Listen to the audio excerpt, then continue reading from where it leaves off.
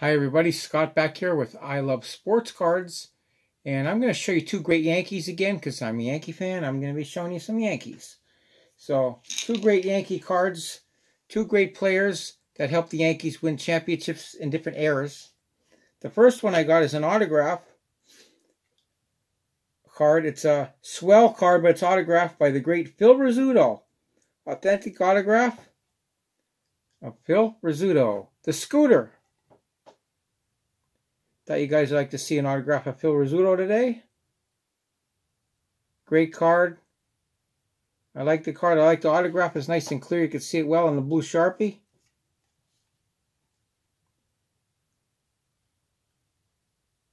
Swell had a nice set there of legends. The back. But the autograph of the great Phil Rizzuto.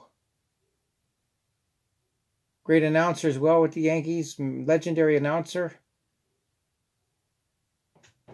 And the other card I'm going to show you is a rookie card. It's, it's a raw rookie card of center fielder for the Yankees, a guy I did meet and get his autograph one time, of the great Mickey Rivers.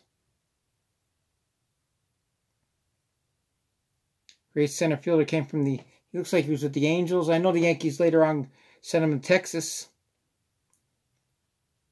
I used to like to watch Mickey Rivers play. Very exciting when he hit a triple.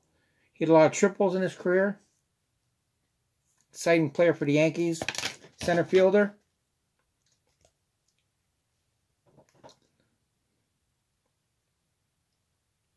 He's a great player overall.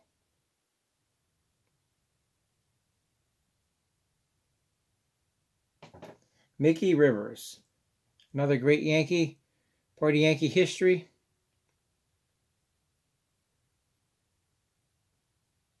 There you have it, guys. There's two great Yankees. Many world championships between them. Thanks for watching. Take care. Collect what you like. Keep loving the hobby. Phil Rizzuto and Mickey Rivers. Take care, guys. Have a great one.